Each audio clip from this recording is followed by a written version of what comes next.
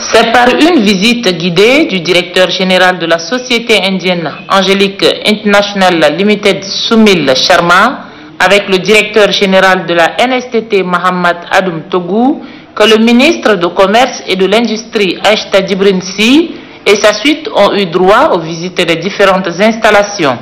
De la salle de lourdissoir à la finition en passant par l'encollage et le tissage, sans oublier la salle d'énergie dont les trois groupes ont une capacité de 1500 kW, le ministre et sa suite sont émerveillés par les machines.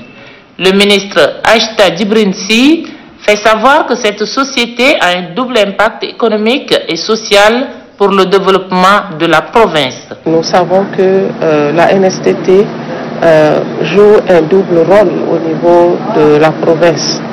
Euh, C'est d'abord un rôle économique et euh, également un rôle social.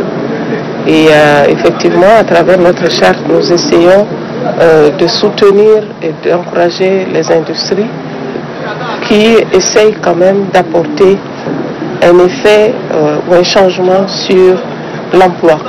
Le ministre Ashta Dibrinsi a tenu une rencontre avec la direction générale pour recueillir les doléances et connaître les difficultés de la société.